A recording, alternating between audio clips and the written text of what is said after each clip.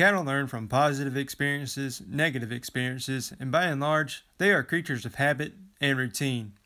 In the 60 days prior to breeding these heifers, we make a point to teach them how we want them to act in the chute. We want them to be calm, and we want them to move in a forward motion to exit the alley. We do not want them to back up, to stall, or to try to turn around. So, on about five separate occasions in the 60 days prior to breeding, we send the entire group of heifers through the alleyway and headgate. The first time we do this, it takes a little while, but by now, uh, we have done it several times and it takes less than a minute.